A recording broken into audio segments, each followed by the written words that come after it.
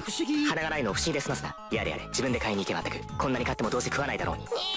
この声は？あ違うにゃこんなんじゃダメアンプなんだまだいたの？という身分に甘え人間をトレードしか見にゃかったし。猫の中では下の長だし。こんな僕がこの先のマスコットなんか務まるわけにゃかったんだにゃ。でもだからってあんなポットでのやつに食うなんねこうやったらプライドも発火にゃ勝手にしろ。まずいママが帰ってきた。連れ出さないと。クソ部屋の掃除頼む。どっちも大丈夫だ。おかえりママ。べ別に何もないよ。であれ？特訓の成果は出たか？ちょっと気持ち悪い。だけど一体なんでこんなお面が？やばい。まママ何を騒いであら猫？困ったわ私猫アレルギーなのに。いやそうりゃこの女は貴様の出てあこらママに近づいちゃダメだ。離れなさ大丈夫よ少しくら？いいいやダメだよ。クソ母さんの体を一日前に戻してやってくれ。だから大丈夫だって何度も言ってるだろ。